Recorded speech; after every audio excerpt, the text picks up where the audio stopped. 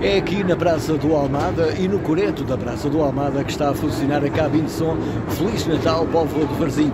A exemplo do que aconteceu no verão, vamos trazer-lhe as reportagens exatamente sobre o Natal na Póvoa de Varzim. Venha daí connosco conhecer a Praça de Natal.